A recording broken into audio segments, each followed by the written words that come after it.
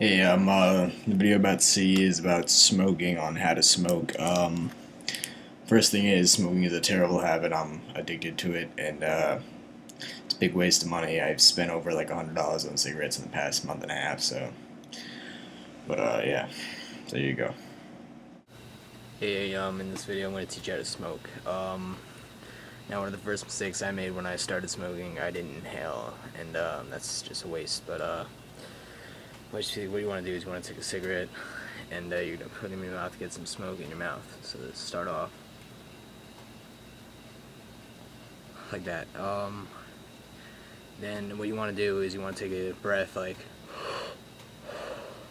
a deep breath. So when you have smoke in your mouth, you're going to take the breath. That's pretty much all there is to it.